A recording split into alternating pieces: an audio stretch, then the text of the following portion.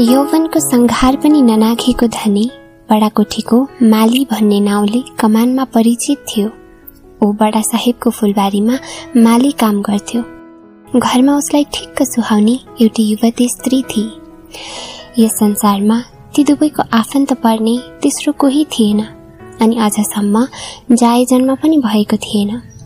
उसैले ती दुईको परस्परमा भएको माया अविच्छिन्न थियो। दुवै आफ्नो सानो संसारमा सुखी थिए। तर तिनको यो दाम्पत्य सुखको अवधि साह्रै छोटो रहेछ। धनीलाई रगत मासी पर्यो। चिया कमानमा डाक्टरी चिकित्साको अभाव धामी झाँक्रीको फुकफाकमा वा ओखतीमा भर पर्नुपर्ने ऊ जाति नै भएन। उसले युवावस्थामै प्राण त्याग गर्नु पर्यो धनीको अकस्मात मृत्युले उसकी स्त्रीको संसारै उजाड भयो। ऊ पनि मर्छे जत्तिकै भई तर छर छिमेकीहरूले टिठाएर हार गुहार गरेर उसलाई बचाए। छिमेकी बडा बेहराले अगुवा भएर साहेब कहाँ बोलबिन्ती गरिदियो? मालिकको काम गर्न सक्छ कि भन्ने साहेबलाई शङ्का भयो र पहिले हाजिर गराऊ भन्ने हुकुम गर्यो। बडा बेहराको साथ लागेर ऊ साहेबको कोठीमा हाजिर भई उसलाई देख्ने बित्तिकै साहेबले हुन्छ भन्यो र ऊ धनीको ठाउँमा साहेबको फुलबारीको मालिनी भएकी थिए। जसे तल्लो धुरामा बस्थ्यो कमानमा काम गर्थ्यो धनी र धनीकी स्वास्नीसित हिलमिल भएको मान्छे। उसकी स्वास्नी मरेको पनि आलो आलो थियो भनौँ।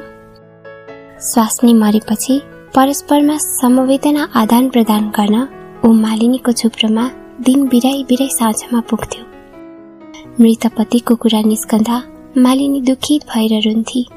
अनि जसै चाहिँ एउटा विश्वस्त शुभचिन्तक भएर सम्झाउँथ्यो आश्वासन दिन्थ्यो। स्वयंले दैवको लाठोका चोटको भागी हुनु परेको दृष्टान्त देखाएर। पहिले पहिले ऊ आउँदा सज्जन अवस्थामा आउँथ्यो तर पछि पछि ऊ अलि चढाएर आउन थाल्यो। मालिनीले केही वास्ता गरिन खाने जात अलिकता खायो होला भन्ठान्थे। एक दिन त निकै धोकेर आएछ।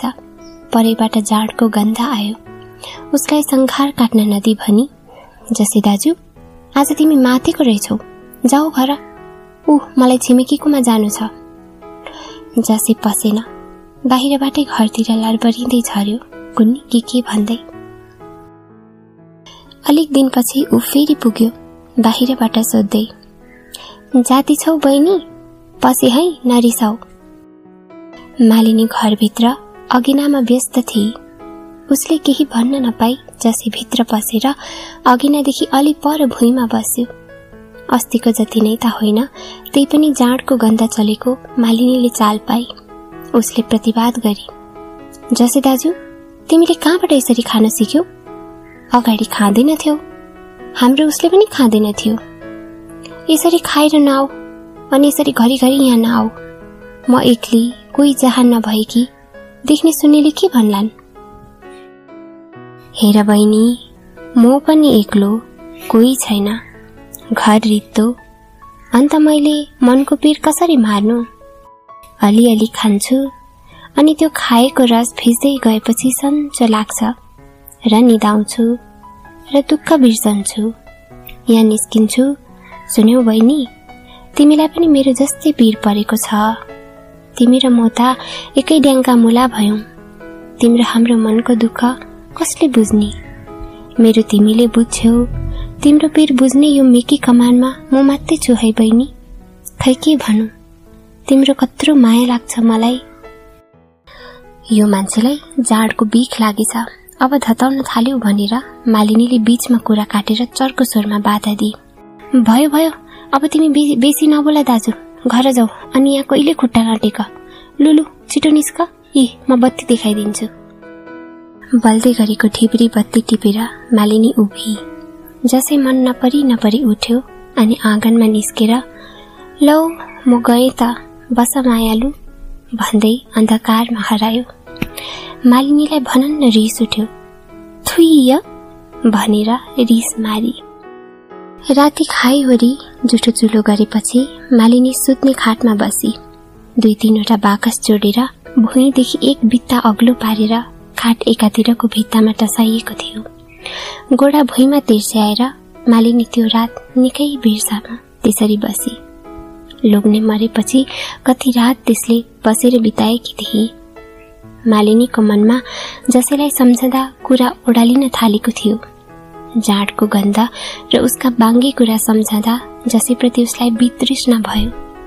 तर उसले यति चाहिँ बुझी कि मनको पीर बिर्सनालाई जसले ओखती सम्झेर जाड खान थालेछ भनेर। रितो घरमा एक्लो मान्छे मन भोलाइदिने केही साधन चाहियो तर कमानमा अरू के पो छ? उसले आफ्नो अवस्थासित उसको तुलना गरी घरमा बोल्ने साथी नहुँदा आफ्नो मुख आफैलाई गनाउँछ भन्ने उक्तिको अनुभव उसले स्वयं गरेकी थिए। यस्तै कति थोक सम्झँदा उसलाई टिठाउन मन पनि लाग्थ्यो तर ऊ एउटी नारी। दैवको क्रूर प्रहारले अति तरुणावस्थामा विधवा हुनु परेको दरिद्र कोखमा जन्म लिएको भए तापनि सामाजिक धार्मिक नैतिक चिर प्रचलित रीतिथितिले सीमाबद्ध पारिएकी हुनाले जसे वा अरू कुनै एक्लो पुरुष उसको झुप्रोमा अनावश्यक आउनु उसले अनुचित ठहरे। युग युगदेखि उसको सूक्ष्म शरीरले बोकेर ल्याएको संस्कारले जसै जस्तो मानिस उसको बासगृहमा आउनु हुँदैन भनेर उसको हृदय खचखचाइरह्यो जसैका निम्ति त्यो सानो झुप्रोमा प्रवेश निषेध भयो। एक दिन एक्कासी साँझमा मालिनीको झुप्रोमा कोहलो मचिएको छिमेकीहरूले सुने के भएछ? भनेर उनीहरू झुप्रोको आँगनमा पुग्दा मालिनीले रुँदै बयान गरे ऊ त्यो मान्छे मातेर आएछ। मलाई पो उसको घरमा हिँड उही बस भन्छ। बिहा गर्छु भन्छ। हात समातेर जाउँ खिचाउँ पार्छ। पापी? मेरो कोही छैन भनेर हेपेको होइन? आँगनको एक कुनामा उभिरहेको जसैलाई सबैले देखे। हाई विष्णु राम्रो कुरा गरेको मैले। म एक्लो फिट्टो ऊ पनि एक्ली। उसको पनि मर्यो मेरो पनि मर्यो।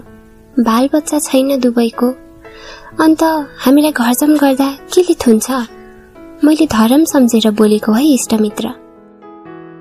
जाँड दङ दङ गनाउँदै गरेको जसैले आँगनमा थुप्रिएका गाउँलेहरूलाई सम्बोधन गर्यो।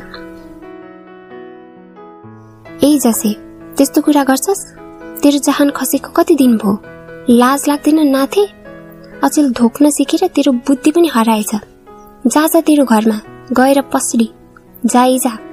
फेरि फेरि यता नआउलास। एउटा छिमेकीले भर्सना गर्यो। मालिनीलाई एउटी छिमेकी दिदीले जुक्ति बताई। फेरि पनि आएर जोरी खोज्यो भने नबोली हँसियाले ठुङ्ग न आफै चाख्छ।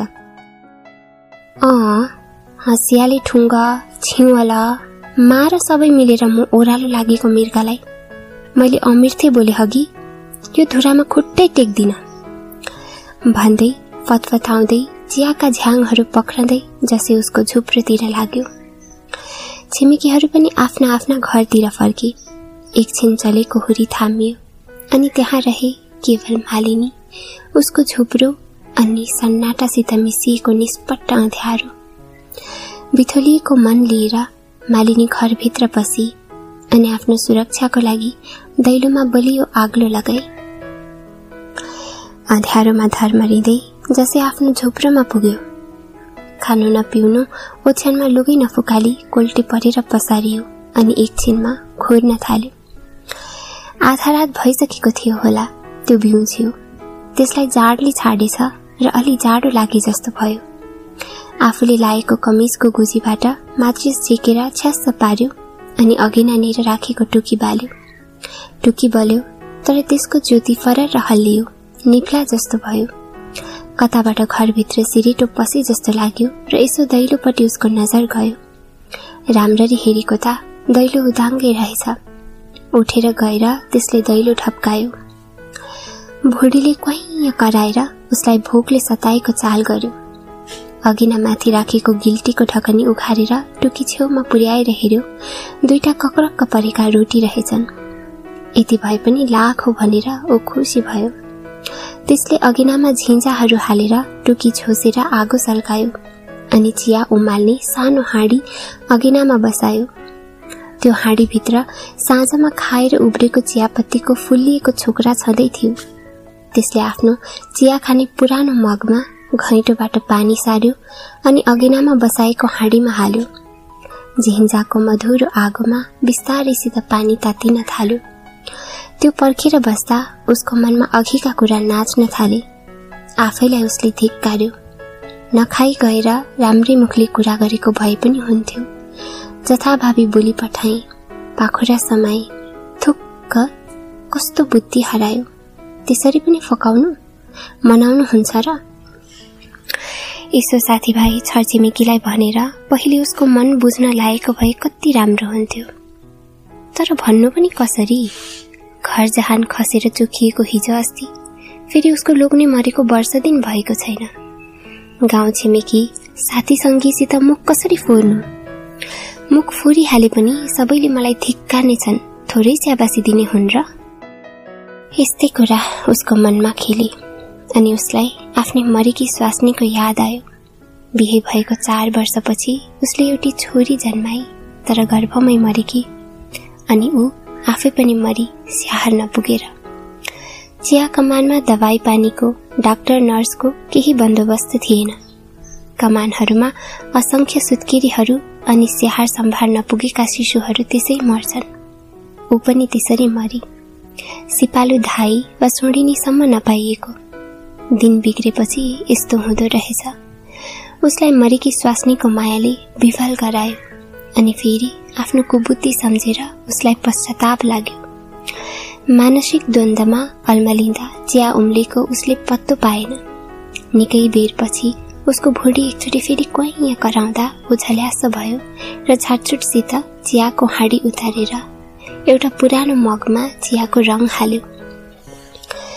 नुनको हाँडीबाट अलिकता नुन झिकेर रङमा हाली डाडुको बिँडले खोल्यो। त्यसले ती दुईवटा सुक्खा रोटी रङमा भिजाएर नरम पार्यो अनि चपाउन थाल्यो। बाफ उड्दै गरेको फिक्का चिया पनि फुक्दै सुरुप सुरुप खाएर सिद्ध्यायो। उसको भोक अलि मर्यो र ऊ फेरि सुत्यो। निन्द्रा भने लागेन। बिहान उठ्ने बेलामा एकछिन झकायो। ऊ चन्कालो हुँदा निकै उज्यालो भएको थियो। हतार हतार उठेर आगो फुकीवरी भात बसायो। भात पाक्दै गर्दा हरियो खुर्सानी र नुन खस्रो पारेर पिइदियो अनि त्यसैसित भात फर्सिएपछि खायो। राति खाइ नसकेको चियाको रङ हाँडीबाट एउटा हरियो बोतलमा खन्यायो अनि भाँडामा उब्रेको भात एउटा बाक्लो खाँडीको रुमालमा पोको पारेर एउटा पुरानो खाकीको झोलामा हाल्यो। चिया हालेको बोतल पनि त्यसैमा हालेर बिहानको गन्तीमा पुग्न दगुर्यो। त्यो घटनाको प्रतिक्रिया मालिनीमा अत्यन्त बेसी भयो। निन्द्रा खजमजियो राम्रो सुत्न सकिन। त्यो घटना उसका निम्ति दुःखप्रद थियो तर त्यो भन्दा पनि बढी दुनियाँदारी सम्झँदा उसलाई साह्रै कुरी कुरी लाग्यो। भोलि बिहान कसरी छिमेकीहरूलाई मुख देखाउँ उनीहरूले मलाई के सम्झे होलान्? मैले किन विचारै नगरी कोहोलो मचाएँ कोहोलो नमचाएको भए अरूले चालै पाउने थिएनन्। कुरा गुपचुपमा रहने थियो। बिस्तारै बोलेर त्यसलाई घरबाट लखेटी दिएको भए पनि हुने। उता लोग्ने मान्छे उसलाई के को लाज? जसो गरे पनि लोग्ने छोराको इज्जत जाने होइन। आइमाईको इज्जत पो कर्कलाको पानी सरी। म विधवा भएको पनि कति महिना भयो र आजै यस्तो खिचोला कति नराम्रो। छि। मालिनीको मनले यस्तै कुरा फलाक्नुसम्म फलाक्यो भोलि बिहान काममा जाँदा सबैले उसलाई हेरे जस्तो लाग्यो। अनि प्रत्येक लोग्ने मान्छे वा स्वास्नी मान्छेको हेराइ भएन केटाकेटी समेतको हेराइ उसलाई सधैँको जस्तो लागेन। कता कता बिक्लै लाग्यो कौतूहलपूर्ण। तल्लो सेक्सनमा बस्ने दबाईवाला छोटा कोठीतिर जाँदै थियो बाटोमा भेट भयो। कामतिर हिँड्यो बहिनी? भनेर मालिनीको अनुहारमा हेरेर मुसुक्क हाँस्यो। दबाईवालाले पनि सुनेछ। अरूहरूले पनि चाल पाए होलान् अनि उसलाई शङ्का भयो सायद। साहेबका कानमा पनि कुरा पुग्यो होला भनेर। त्यसो हो भने त मेरो बदनाम हुने भो। कामबाट पनि निकालिदिने होला भनेर उसको मनमा ठुलो पीर पर्यो। यन्त्र चाली छै भएर ऊ बडा कोठीमा पुगी। साहेबको दुई तले कोठीमा नोकर चाकरहरू आफ्नो काममा व्यस्त थिए। ऊ पनि फुलबारीमा पसेर त्यही एकतर्फमा भएको पानीको कलबाट झिन्झिरीमा पानी थापेर फुलका गमलाहरूमा अनि फूलका बोटहरूमा पानी हाल्न थाली। साहेब छोटा हाजिरी खाएपछि एकपटक कोठीको तिनतिर फिजिएको रमणीय फुलबारी चहार्थ्यो अनि कहिलेकाहीँ फूलको रोपाई गोडाइमा अनि माझ माझका तथा वरिपरिका झ्याङहरूमा हुर्केका पातहरू छिमल्ने बेला हुँदा चासो लिएर निर्देश दिन्थ्यो। फूल फुलेका ऋतुमा राम्रा राम्रा फूलहरू काट्न लाएर कोठीको बैठक खाना कमरा वा बरन्डा सुशोभित गराउने सुन जस्तो पितलका र चिनिया माटाका दामी चम्कने पुष्प पात्रहरूमा सजाएर हाल्न लाउँथ्यो। अरू बेला ऊ उद्यान विथिकामा सुस्त पाराले डुलफिर गर्थ्यो। आज पनि ऊ कोठीबाट बाहिर निस्क्यो अनि दलानमा उभिएर मालिनीले काम गरेको हेरिरह्यो।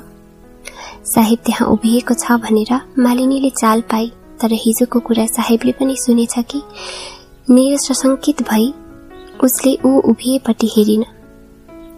आफ्नो काम खुरुखुरु गरिरही। साहेब दलानबाट बाहिर निस्केर फुलबारी भित्र डुल्न थाल्यो अनि उसकै नजिकमा आएर ठिङ्ग उभियो।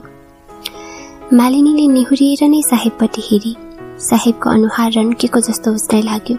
मालिनीका दुवै गाला लज्जावश रक्तिमा भाले चम्के फेरि एकछिनमा उसलाई डरले छोप्यो अनि उसको समस्त शरीर जजमजायो यो साहेब किन उभिरहेको? पर गइदिए पनि हुन्थ्यो नि। उसको भयभीत मनले भन्यो। साहेबको उपस्थिति र कुदृष्टिमा उसलाई विरक्ति लाग्यो। उसले साहस गरेर एकपल्ट त्यस विरक्तिकर जीवलाई हेरी। त्यस हेराइमा त्यो दुराचारीले मालिनीको मनको भाव बुझेछ क्या र उसले मुसुमुसु हाँस्दै त्यहाँबाट पछि सर्दै बीच बाटो पुगेर कोठीको मूल ढोकातर्फ पाइलो बढायो। ऊ अदृश्य भएपछि मालिनीले ठूलो सास फेरी बेलुका भो कसैले त्यो घटनाको कुरा कोट्याएन। सबै नोकर चाकर आफ्ना आफ्ना काममा लागेका थिए।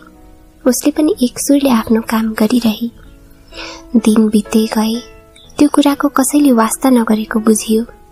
कुरा त्यसरी आफै मेटिएकोले मालिनीको मनको अवस्था पनि सामान्य भयो। मालिनीले शान्तिसित धेरै दिन बस्न पाइन। अनिष्टकर ग्रहले उसलाई फेरि पिर्न थाल्यो। एक दिन आइतबार बिहान जसै मालिनीको घरको सिकुवामा आएर थ्याच्च बस्यो। आइतबार छुट्टीको दिन हुनाले खानेकुरा बिस्तारै पकाउला भनेर मालिनी घरको भुइँ रातो माटोले लिप्दै थिए। उसले भित्रैबाट जसैलाई देखी देख्न साथ उसलाई झनक्क रिस उठ्यो। त्यसलाई सरापौँ तिरस्कार गरौँ जस्तो लाग्यो तर उसले आफूलाई सम्हाली। अस्तिको जस्तो तमासा नलागोस् भन्ने अभिप्रायले। उसले एक शब्द मुखमा उच्चारण गरिन। बरु दैलो थुनेर कुना काप्चा केही बाँकी नराखी लिपिरही। त्यसरी लिपिसकेपछि अब त जसै गयो होला सिकुवा पनि लिप्नु पर्यो भनेर उसले भिजेको भुइँ जोगाएर दैलो उघारी जसै गएको रहेनछ सिकुवाको डिलमा पिँध राखेर रा, खुट्टा आँगनमाथि टेकाएर बसिरहेको रहेछ। मालिनी के भनौँ कसो गरौँ भाइ? एकछिन सोचेर उसले राम्रै मुखले भनी ए जसै दाजु किन यहाँ आएर बसिरहेको? जाऊ आफ्नो घरमा। उठ यो सिकुवा लिप्छु। कस्तो लाज बचेको मान्छे। जाऊ है अरूले देखि के भन्लान्? मलाई गाल नपार गरी खान देऊ। तिमीहरू लोग्ने मान्छेलाई पो के छ र? जसो गरे पनि हुन्छ। मेरो बिन्ती जाऊ। मलाई क्षमा गर बहिनी। त्यो सुन्ने घरमा बस्न मन लाग्दैन र यहाँ आएको। नरिसाउ भुलचुक भएको आज केही खाएको छुइनँ लो घर लिप म हिँडे। यति भनेर ऊ त्यहाँबाट हिँड्यो। मालिनीले त्यो गएको हेरिरही अनि त्यो देखिन छाडेपछि मात्र सिकुवा लिप्ने कर्म सुरु गरे। तर उसको यो लिपाइमा मनोयोग थिएन। लिप्दा लिप्दै अडिएर उसले आफ्नो मनले भनेको कुरा सुनि। यो मान्छे माफ माग्ने न्यु गरेर लेसो लाग्न आएको त होइन? के खालको एकोरो मान्छे? लिप्ने काम सिध्याएर ऊ गाग्रो टिपेर पानी भर्न गई। पथेरोमा हात गोडा राम्ररी धोएर गाग्रोमा पानी भरेर फर्की। त्यसपछि चुलो धन्दा सुरु गरी अघिनामा भात पाकेको रुङ्दा जसले अघि भनेको एक एक शब्द उसको मनमा दोहोरियो आज केही खाएको छुइनँ भन्दै थियो। अस्तिको जस्तो चाँड खाएको छुइनँ भनेको हो कि चियासम्म खाएको छुइनँ भनेको हो? उसलाई एकछिन भ्रम भयो। बिहानै घरमा आउनेलाई एक बटुको फिक्का चिया दिनु के हुन्थ्यो र? उसको कोमल नारी हृदयले प्रश्न गर्यो। मालिनीका छिमेकीहरूलाई जसै त्यसरी त्यहाँ घरिघरि आएको निक्को छाँट लागेन एउटी विधवाको घरमा ऊ त्यसरी धाएको असहनीय भयो। मौका हेरेर एउटी छिमेकी स्वास्नी मान्छेले त पचकारेर भनी त्यो जसै अस्ति त्यस्तो भएर पनि फेरि किन आयो? किन त्यसरी आउजाउ गर्न दिएको? आफ्नो धर्म बचाउ है बहिनी। यो सुनेर बिचारी मालिनीलाई मर्नु भयो। उसले प्रतिवाद गरी म त्यति गयल होइन दिदी। मरेको लोग्नेको साथ छोडेको छुइनँ। त्यो गति छाडा फेरि आएको थियो टिक्न दिइन। फेरि फेरि आओस् त्यसलाई ठिक पार्न मैले जानेको छु। छिमेकीहरूका मनको शङ्का मेटिन पाएको थिएन। एक दिन ससाझे फेरि एक्कासी मालिनीको घरबाट गुहार गुहार भनेको स्वर निस्केर आएको सबैले सुने। नोकरधुराका आइमाई लोग्ने मान्छे जम्मै मालिनीको आँगनमा पुगे। केटाकेटीहरू पनि ठुलाहरूलाई पछ्याउँदै तमासा हेर्न त्यहाँ थुप्रिए। आँगनमा उही जसी उभिरहेको थियो अनि मालिनी चाहिँ हातमा मुङ्गरो लिएर दैलोको छेउमा खडा थिए। जसैको मुखबाट जाँडको गन्ध आइरहेको थियो अनि ऊ के के भन्न खोज्थ्यो तर बोली स्पष्ट थिएन। लाग्ने गरी खाएछ।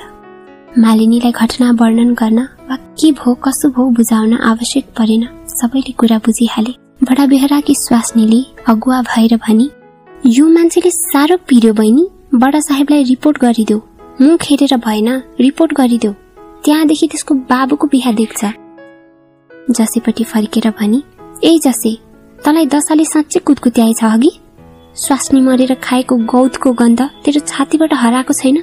तेरो चाहिँ चाला यस्तो? बडा जोरी खोज्ने भइस कि अब यो कमानबाट तेरो उठी बाँच्नु नलागि छाड्दैन। यहाँ अर्काको घरमा घरिघरि के को तमासा? बरु जा फाल हालेर मर। नपिराइमे केटाकेटीलाई यसको प्रत्युत्तरमा जसै जिब्रो लरबराउँदै बोल्यो बिरानी दिदी मेरो छातीभित्र डढेलो लागेको तिमीहरू पनि देख्दैनौ। तिमीहरू मान्छे भए बुझ्ने थियौ सुन्यौ? मान्छेको मनको पीर मान्छेले बुझ्छ। म पनि मान्छे तिमीहरू पनि मान्छे। यो मालिनी पनि मान्छे? अन्त मेरो पीर किन नबुझ्ने? तिमीहरू मान्छे होइन म मान्छे होइन। भनिहाल म मान्छे होइन। तिमीहरू चाहिँ मान्छे। हो हो म मान्छे होइन। भन्दै रुन्चे स्वर लाउँदै जसले उसको घरतिर जाने गोरेटो पक्रियो। मान्छे अरे? मान्छे भई किन यस्तो बेहोरा देखाउँथिस्? जाइ जा अब यहाँ फेरि आइस भने मर्छस् मात्रै। बेहरानीले धम्की दिए। जसै चियाका बोटहरूमा अल्झिँदै अन्धकारमा विलिन भयो रमिता हेर्नेहरू पनि अल्पिए। खाली बेहरानी मात्र उभिरहे। सबै गइसकेका देखेर उसले मालिनीलाई भने यो कुराको रिपोर्ट साहेबलाई गर्नै पर्छ। घरि पनि घरि पनि यसले खेती पाएछ। मात्यो अनि आएर तमासा गर्यो। कस्तो मान्छे। अरूतिर जाने बाटो चाहिँ किन नदेखेको? यी मात्रै जहिले पनि अन्त कसैले सुन्छ कि भने जस्तो गरेर मन्द स्वरमा प्रश्न गरी कि? बहिनीको मनमा के छ? भन है? अँ होइन भने भोलि रिपोर्ट गरी छाड नत्र जसैले तिम्रो नाम बिकाइदिन्छ बेहरानीको वाक्यले मालिनीको मुटु छेड्यो। रिपोर्ट नगरी छाड्दिन अब पनि साह्रै पो गर्यो। म अहिले नै बडा साहेबलाई भन्छु। घाइते भएकी मालिनीले प्रतिवाद गरे बेहरानीले थुम्थुमाई तातो रिस नगर बहिनी भोलि बिहान जाऊ। हुन पनि त्यो कुबेलामा एक्लै साहेब कहाँ गएर भन्ने साहस बिचारी मालिनीको कहाँ थियो र? छोटा हाजिरी लगाइसकेपछि साहेब कोठीको बरन्डाको वायुकोणमा घेरिएको अफिसमा बसेर कागजपत्र पल्टाउँदै थियो अनि मालिनीको मुखपात्र भएर सेतो अचकन र सेतै चुच्चे पगडी गुतेको बडा बेहराले संघारमा उभिएर बडा साहेबलाई निकै लामो के के भनिरह्यो। साहेबले उसको कुरा सुन्दा बीचबीचमा। ओ जसै बहुत बदमास आइसी यस्तै के के शब्द फटकारेको दलानमा उभिएकी मालिनीका कानमा परे अनि एकछिनमा उसलाई बोलाहट भयो। साहेबको अघिल्तिर उभिँदा उसको मुटु काम्यो र ऊ बोल्न सकिन। तरुणी मालिनीको मनको अवस्था बुझेर चतुर साहेबले प्रोत्साहन दियो। नडराउनु सब कुरा मलाई भन्नु सक्छ। राम्रो केटी तब त म एक्सन लिनु सक्छ। मालिनीको मुटुको ढुकढुक अलि मत्थर भयो र उसले साहस गरेर जसले उसलाई पिरेको कुराको उजुर गरी ध्यान लाएर सुनिसकेपछि साहेबको हुकुम भयो जसै बहुत खराब तिम्रो इन्सल्ट गर्यो त्यस्तो बदमासलाई म कडा सजाय दिन्छु साहेबको कुरा सुनेर मालिनीको यौवनपूर्ण चेहरामा लाली चढ्यो।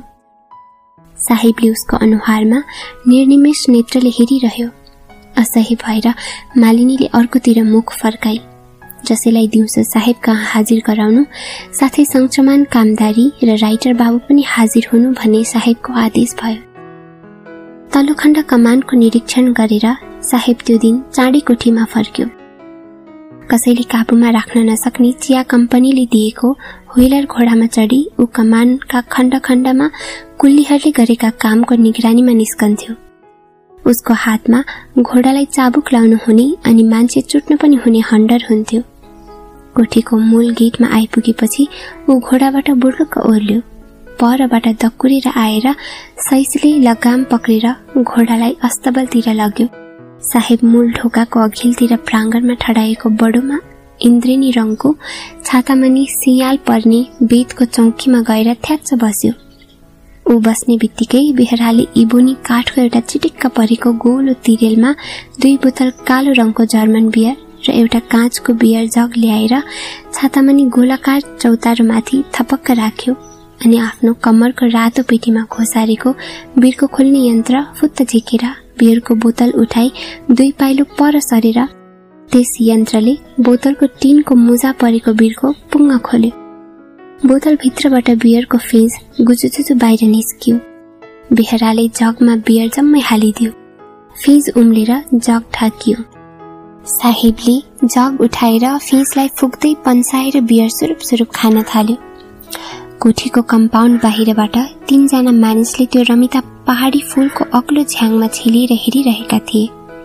सङ्चमान राइटर र जसीले। साहेबले बियर निखारेर जग तिरेलमा राख्यो अनि जिब्रोले आफ्नो दुवै ओठ चाटिरह्यो। यता सङ्चमानले पनि आफ्ना ओठ त्यसरी चाट्यो। बेहराले अर्को बोतलको कसिएको बिरको अघि जस्तै पुङ्ग खोल्यो अनि गुजुजुजु पर्दै गरेको कालो बियर रित्तो जगमा बाहिर नपोखाइकन कायदा साथ हालिदियो। साहेबले अघि जस्तै मुखको सासले फिज पन्साउँदै सुरुप सुरुप खान थाल्यो।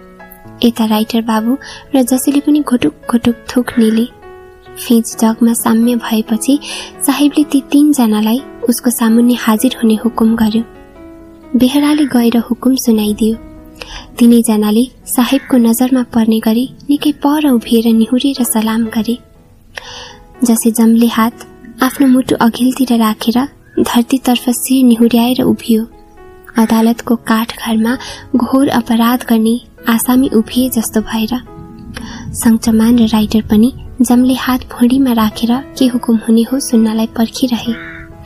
साहेबले मालिनीले गरेको नालिसको सार अङ्ग्रेजी र नेपाली मिसाएर भत्केको बोलीमा बक्यो अनि जसैलाई भन्यो मेरो देशमा राम्रो घरको आइमाईमाथि इन्सल्ट गर्नेलाई कडा सजाय दिन्छ।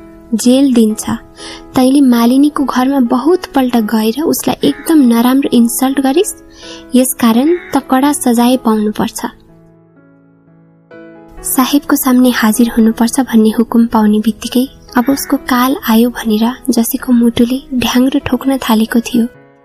अब कसो गरौँ कुन उपायले बाँचु भनेर गम्दा गम्दा कसुर स्वीकार गरी माफी माग्ने अनि भविष्यमा त्यस्तो कहिले गर्ने छैन भनेर किरिया खाने उसले उपाय सोची राखेको थियो। साहेब बोल्न थामिएपछि जसैले निहुरेको शिर उठायो अनि साहेबको अनुहारतिर आँखा झिमझिम पार्दै हेरिरह्यो। भित्री सास बटुलेर त्यसले बिन्ती चढायो। हजुर मालिक खाएको बेलामा मेरो भूल भयो। एक खेपको लागि माफ गरिदेऊ मालिक राजा। चुप पाजी साँडे भन्ने अङ्ग्रेजी शब्दमा हकार्दै साहेब राखियो। सबको साहस बन्द भयो। वातावरणमा सन्नाटा छायो। एकाध मिनटपछि साहेबले अघिल्तिरको जग उठाएर बियर घटघट पिएर रित्तो जग तिरेलमा ढ्वाक्क राख्यो अनि भिजेको कैलो जुङ्गा र ओठ दाहिने बुढी औँलाको फेदले माझ मुखबाट दुवैतर्फ पुछ्यो। उसको अनुहार रातो रङ पोतिए जस्तो भयो अनि उसले दण्डाज्ञा सुनायो। त यो कमानमा बस्नु लायक छैनस्। आइमेको इन्सल्ट गरेको लागि म हट्टा बाहरको सजाय दिन्छु। आज घाम डुब्नुको अगाडि कमान छोड्नु मेरो फाइनल हुकुम। राइटरपट्टि फर्केर निर्देश गर्यो राइटर बाबु आजको हाफ डे अनि अरू काम गरेको रोज दिनु अनि यसको हिसाब बन्द गरिदिनु बुझ्यौ? यस्तो कठोर दण्ड सुन्दा राइटरलाई जसैको पक्षमा एक शब्द बोलिदिने मानवीय सहानुभूतिले प्रेरित गरायो। र उसले बिन्ती चढायो हजुर जसैलाई हट्टा बहारको सजाय कडा भयो माफी दिनुहोस् सजाय कम्ती गरिदिनुहोस् बरु दुई दिन काम नदिनुहोस् रोज काटिदिनुहोस् ऊ कमानमा एउटा राम्रो कुल्ली हो उसको योभन्दा अघि कुनै खराब रिपोर्ट छैन। साहेब विजयमा गर्जो बाबु तिमी उसको वकिल हो? मेरो हुकुममा तिम्रो नाक नबढाऊ। हुकुमको जवाब छैन। मान्नु ठिक ठिक इधर उधर नै मङ्ता यो सङ्चमान तिमी हेर्नु कि यो गार्डन बाहिर हुन्छ घाम डुब्नुको अगाडि? भोलि बिहान रिपोर्ट ल्याउनु अब सब जानु सक्छ। तिनैजनाले मन नपरी नपरी सलाम गरेर कोठीको कम्पाउन्ड छाडे। राइटरको चित्त पटक्क बुझेको थिएन र अलि तल पुगेपछि भन्यो यही हो निया। एउटाले पोल लायो अर्कोलाई बोल्ने मौका नदी सजायको अर्डर छाड्यो। कोर्ट कचहरीमा पनि दुईतिरको गवाही सुनि वकिलहरूले ऐन देखाइदिएर बोलेर लडेर हो भन्ने प्रुफ पाएपछि मात्र विचार हुन्छ। सजाय हुन्छ कि ढिसमिस हुन्छ? भएन अपिल गर्न सक्छ। बस कमानमा चाहिँ एउटै कुहिरेको खुसी खुसी मनमानी। सुन्नु छैन बुझ्नु छैन तरुणी आइमाईको कुरा सुन्यो आँखै नहेरी सजाइदियो एक दुई दिन काम नदिए भइगयो नि एकैचोटि हट्टा बाहिर। बडा आइमेको इन्सल्ट भयो भन्ने। आफूहरू चाहिँ अर्काको स्वास्नी अर्काको छोरी चेलीलाई अङ्गालेर क्लबमा रातभरि नाच्नु हुने त्यो चाहिँ इन्सल्ट नहुने। साला ऐन सुनाउँछ यहाँ। हो सजाय त अचाक्लै कडा भो। कालापानी भेजे जत्तिकै भो। यस सीमा जसैको दिन बिग्रेको रहेछ। बोलबिन्ती सुन्ने होइन मनिजर तरुणीले कान फुकिदिएपछि। सङ्चमानले थप्यो। जसै हटा बाहिर भएको कष्टदायक संवाद प्रसारित हुन धेरै समय लागेन। सुन्नेलाई आफैमाथि दुःख भइरहे जस्तो लाग्यो। उसका छरछिमेकीहरू र सङ्गीहरूका हृदयमा एकजना स्वेच्छाचारी मालिकको अत्याचारले मुक्का हान्यो। प्रत्येकले साहेबलाई अनि पोल लाउने मालिनीलाई प्रथम आवेगमा अभद्र भाषामा गाली गर्यो बदख्वाई गर्यो धम्की दियो। त्यो अस्थायी आवेग हराएपछि फेरि शान्त अनि निरुपाए तर गरून् पनि के? चेतन जीव भए तापनि मुख पशु झै निरीह भएर बस्नु पर्थ्यो। प्रतिवाद गर्न उनको आफ्नो बुद्धि पुग्दैनथ्यो उनमा आँट हालिदिने व्यक्ति कमानभित्र कोही थिएन। बाहिरको कुनै अगुवा भित्र ढिम्कन पाउँदैनथ्यो कमानवासी आफू आफैमा मुरमुरिन्थे आगो हुन्थे आफूभित्र जमेको ग्यास उक्लन्थे बस त्यति हो। सरसल्लाह गरौँ कमिटी गरौँ भनी कता कताबाट कुरा छिरेर साहेबका कानमा पुगिहाल्थ्यो। अनि अघि सर्ने जतिले आँखाको कसिङ्कर भएर जीविका चलाउनु पर्थ्यो। सिमाना त्यही बाँधिएको थियो। त्यो माइल खुट्टी भन्दा अघि बाटो देखा पर्दैन थियो अनि पथ प्रदर्शक कोही थिएन। पाँच आना रोजमा काम गर्ने जसैले अफिसबाट अढाई दिनको साढे बाह्र आना खर्च थप्यो। केही बोलेन त्यसको सातो हराएको थियो। त्यो मन भारी भएको थियो। कमानको टाउकीले दोषी ठहर्याएकोले त्यसलाई लाज लाज पनि लागेको थियो। सबैको आँखाले उसलाई हेर्दै थिए तर उसका गहभरि भएका आँखाले कसैलाई हेर्न मन गरेन। ऊ आफ्नो झोपडीतिर हिँड्यो अनि उसको पछि पछि सङ्चमान बाजे बजे आमा बाबु आफ्नै दुलही र आफै यत्तिका दिन बसेको त्यो खरको घर त्यो कमान त्यहाँको माटो साथीभाइ इष्टमित्रबाट अब सधैँका निम्ति आफूलाई कालचक्रले हठात छुट्याउन लागेको देख्दा मन थाम्न नसकी ऊ ढाक्को छोडेर रोयो। आफूले गरेको तिल जत्रो भुलले पर्वतको रूप लिएछ भनेर त्यसलाई त्यति बेला चेत आयो। त्यसले मनमा नै आफूलाई धिक्कार्यो अनि साहेबका कानमा बेग हालेर उसलाई उठीबास लाउनेको घरमा डरेलो नलाई छाड्दिन भन्ने निश्चय पनि गर्यो। आफ्नो खस्रो हातले दुवै आँखाको आँसु पुछेर ऊ पिँढीमा बस्यो। अब त्यसरी बसेर हुन्छ। जेतिमेति एक ठाउँ थुपार कुम्लो कुटुरो कस र हिँड्ने तर्खर गर हुकुम त्यस्तै छ नराम्रो लाग्छ नै। गर्दै सङ्चमान पनि उसकै छेउमा थ्याच्च बस्यो। जसै चलमा लाएन त्यसको अनुहार बिग्रियो अनि केही छिनपछि हात जोडेर बिन्ती गर्न थाल्यो सङ्चमानलाई बाबु आखिरी म जानै पर्यो त्यतिले गर्दा मलाई दशा लागेकै रहेछ। सबैलाई पालैसित अघि लाएँ अब आफ्नै पनि घाँस बास हरायो। कुबेलामा कहाँ जाउँ एकछिनमा अध्यारोले छोपिहाल्छ अन्त म बिठे कानमा कहाँ गएर बस्नु? मेरो बिन्ती भोलि बिहानै कुखुराको पहिलो डाकमा हिँड्छु। घाम झुल्किनुभन्दा धेरै अघि कसैले थाहा पाउँदैन। त्यतिन्जेल बस्न देऊ। बरु घरमा ढिब्री पनि बाल्दिन। दैलो थुनेर बस्छु। बाबु धोकामरी काट्टै दिन्न। त्यसो नभन् नानी हिँडिहाल त आफै डुबिस मलाई किन डुबाउँछस्? सङ्चमान राजी भएन। होइन बाबु डुबाउँदिन मेरो आखिरी बिन्ती म काला पानी गए जत्तिकै हो फेरि हाम्रो भेट हुने होइन? पत्याउँदैनौ भने सेती सक्ने म तिमीलाई बिगार्दिन। त्यस्तो पाप गर्दिन। जसैले सङ्चमानमा विश्वास हालिदिन जोर गर्यो। सेतीदेवी सम्झेर किरिया हाल्दा सङ्चमानको मनमा अलि दया पलाए जस्तो भयो र त्यसैले आज्ञा गर्यो साह्रै गरिस् खै के भनौँ? लौ त त्यसै गर। तर हेर अब कमान छोड्ने आँटे भनेर कसैसित छै झगडा नगर्लास् केही बिगार गर्दैनस् त। म घाम नझुल्की यहाँ आइपुग्छु। गएको रहेनछस् भने तेरो गर्दन रहँदैन। यति चाहिँ याद राख मलाई चिनेकै छस्? यति भनेर सङ्चमान त्यहाँबाट हिँडेपछि जसले भित्र पसेर आफ्ना अलिअलि भएका भाँडाकुँडा एउटा डोकोमा मिलाएर हाल्यो। पानी भने माटोका दुई काग्री र हाँडीहरू अनि एउटा पुरानो काठको कालो बाकस एक कुनामा छुट्याएर राख्यो। त्यसपछि बाहिर निस्केर डिलमा फलेका इस्कुस र भुइँमा लहरा फिजिएर बढ्दै गरेका फर्सीका गट्टालाई उसले मन लाएर हेरिरह्यो। बाल्यकालदेखि नै उसले ती झ्याङमा फलेका इस्कुस र फर्सी खाएर पेट भरेको थियो। यस उसले ती झ्याङ उसलाई आफ्नै नाता जस्ता लाग्दथे। आज अन्तिम बार तिनले दिएका मूल्यहीन उपहार उसले आँखाबाट आँसु चुहाउँदै टिप्यो। गोटा दसेक इस्कुस र दुईटा फर्सीका गट्टा छुट्याएर घरभित्र लगी बाजीको पालादेखि राखेको जाबीमा हाल्यो। बाँकी उसको छिमेकी सङ्गीको छुप्रोमा पुर्याइदियो। माटोका गाग्री हाडी र अरू जिनिस पनि चलाउन् भनेर त्यही पुर्यायो। मन थाम्न नसकेर साथीकी आमा धुरु धुरु रोई। साथी पनि रोयो ऊ पनि रोयो। बेलुका त्यो त्यही लुक्यो। सङ्गीसितै बसेर त्यही भात खायो। झमक्क भएपछि मात्र बिदाबारी लिएर त्यो घरमा सुटुक्क फर्क्यो अनि दैलो थुनेर अँध्यारोमा धुमधुम्ती बसिरह्यो। सखारै उठेर जेनतेन पेटमा केही नहाली। गन्तीमा पुग्न विलम्ब नहोस् भन्ने कारणले कमानका श्रमिकहरू सधैँ जस्तो आज पनि सुतिसके। कता कता कुकुरहरू भोकेका सुनिन्थ्यो जसैले माचिस छ्यास पार्यो। इस्कुस र गट्टा हालेको जाबी नजरमा पर्ने बित्तिकै त्यसलाई टिपेर काँधमा भिर्यो अनि बाहिर निस्केर दैलो लायो। त्यसपछि चाल मारेर कसैले देखि पो हाल्छ कि? भनेर पलाक पुलुक हेर्दै ऊ एक सासमा मालिनीको झोपडीमा पुग्यो। जसै हट्टा बाहिर गरिएको खबर मालिनीका कानमा पुग्न कति पनि बेर लागेन।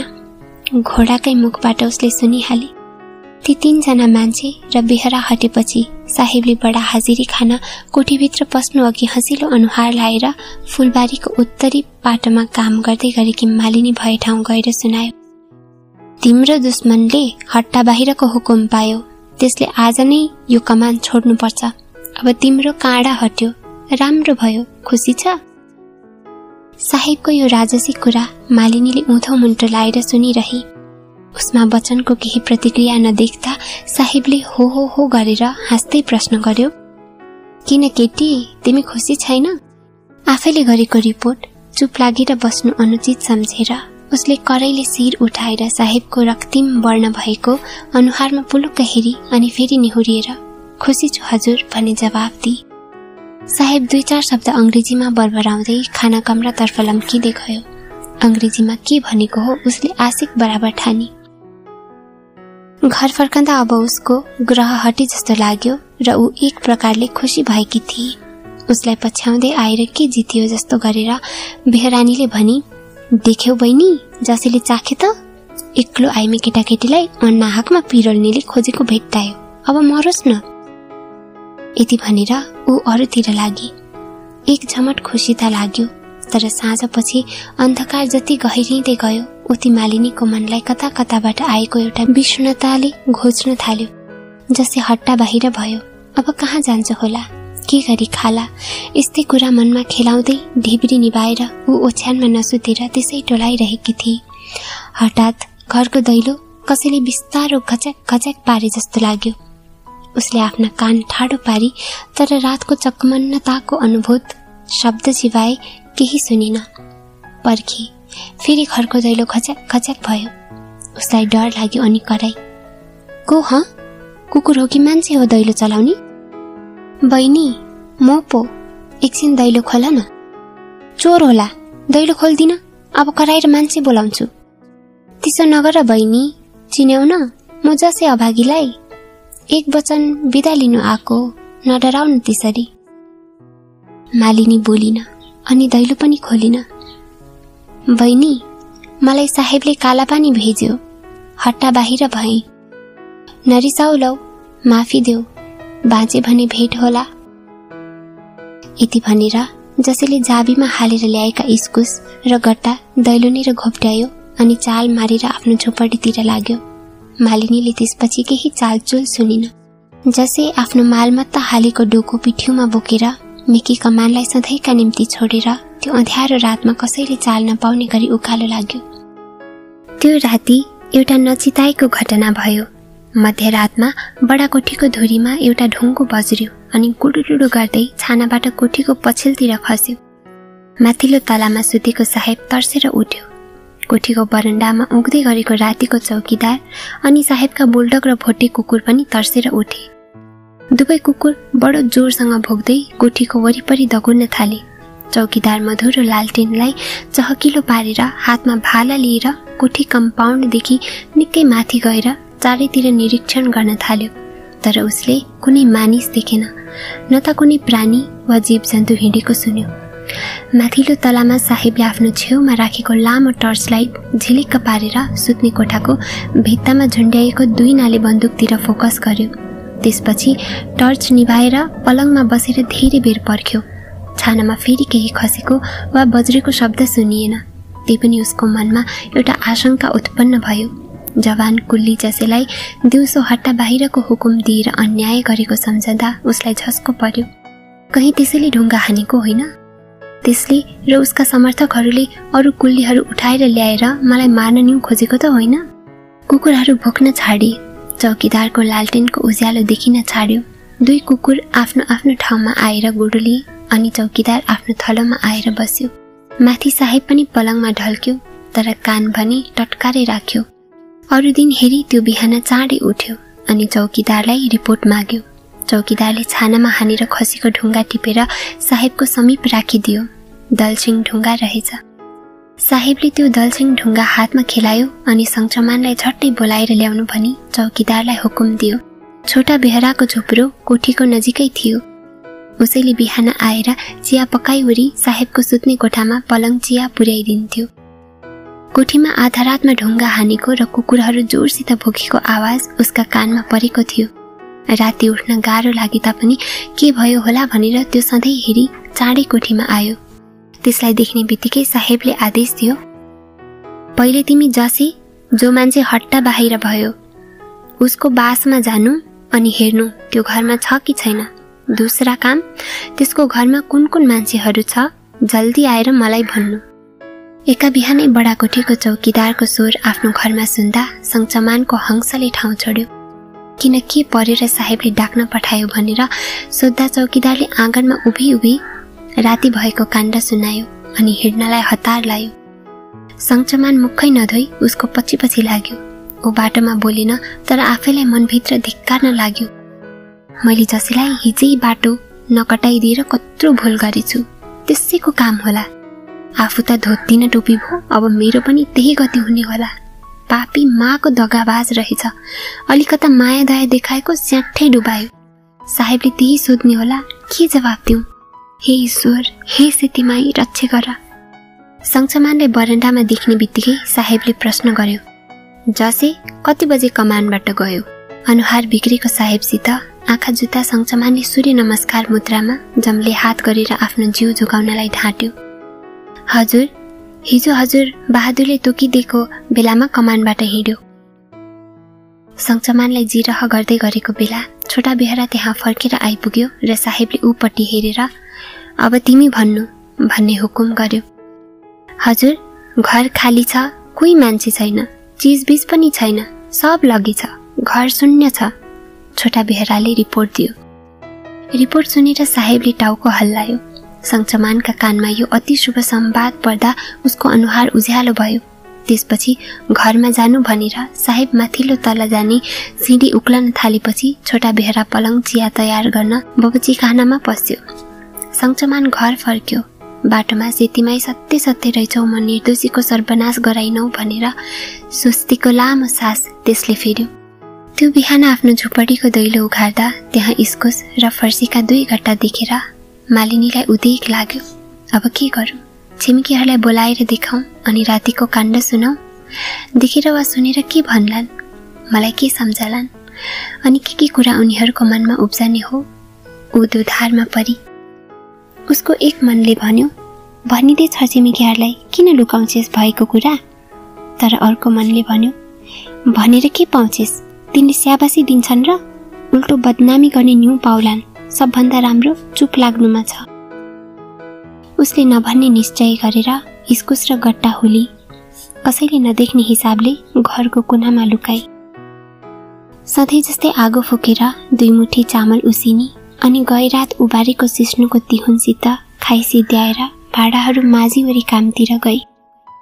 साहेबले आफ्नै हातले एउटा अभियोग पत्र टाइप गरेर पुलिस सुपरिन्टेन्डेन्ट कहाँ उठ पठायो? त्यसमा रातिको घटना उसको भग्न अङ्ग्रेजी भाषामा बयान गरिएको थियो। त्यसको एक प्रति चिया कम्पनीको हेड अफिस क्लाइभ स्ट्रिट कलकत्तामा पनि सूचनार्थ पठायो। त्यसपछि त्यसले एउटा काँधमा बन्दुक अनि अर्को काँधमा गोलीको माला भिर्यो अनि लगत्तै कमानको उपरी सिमाना निरीक्षण गर्न घोडामा चढेर हिँड्यो। पछि पछि साइज दिउँसो र रातिका दुई चौकीदार अनि उसका दुई कुकुर उसको घोडालाई पछ्याउँदै हिँडे।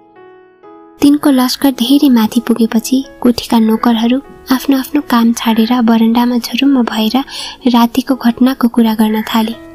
तिनको आलोचना मालिनीले पनि सुनि अनि थाहा पाई कोठीको छानुमा ढुङ्गा बज्रेको आधा राततिर रहेछ। त्यो सुनेर उसको मनमा चिसो पस्यो। उसलाई लाग्यो हो न हो जसैकै काम होला। साहेबले कथङ्काल भेटायो भने नम्मारी छाड्दैन।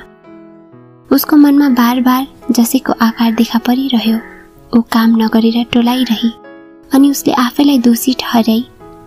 मैले साहेबलाई रिपोर्ट गरेर यत्रो सजाय पायो। धम्की दिएर डर देखाएर थरथरी पार्ला भनेको कमानै छाड्ने हुकुम दियो।